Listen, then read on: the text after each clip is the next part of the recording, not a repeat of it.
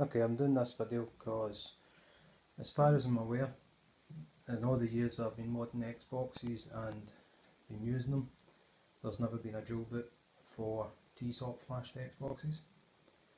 So this is the first one that I'm aware of that I've done. Um, basically, eject, loads another dash, power, loads a different dash. Um, let's start this.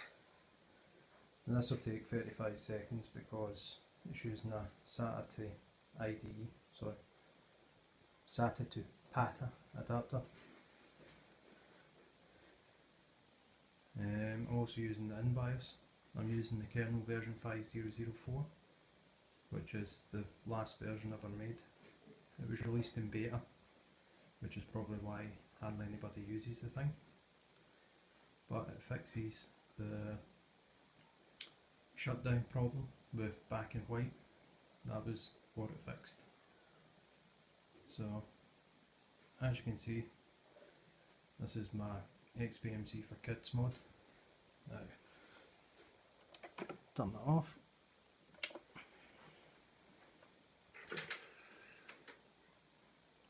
Now we need to wait another 35 seconds.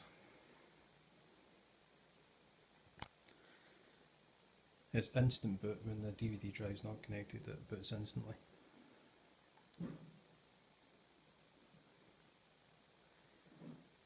It just seems this damn adapter takes a while.